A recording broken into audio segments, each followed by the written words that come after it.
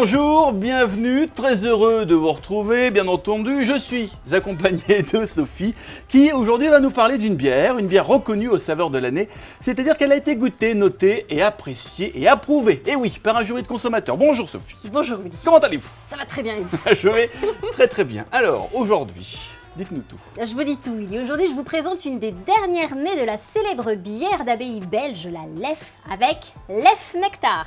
Une bière blonde aromatisée au miel qui titre à 5,5 degrés. Le résultat est une bière à la robe orangée au goût doux amer, aux arômes de fleurs, de vanille, de fruits et de clous de girofle.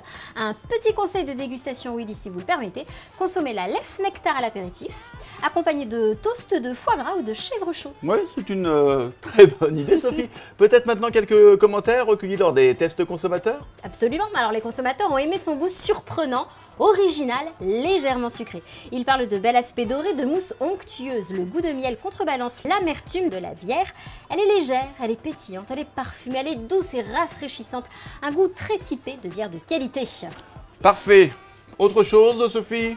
Pour cette fois-ci, ce sera tout. Non. Bon, écoutez, eh bien chers amis, on vous embrasse et puis euh, on se dit à très très vite pour une nouvelle chronique. Bye bye Yeah, yeah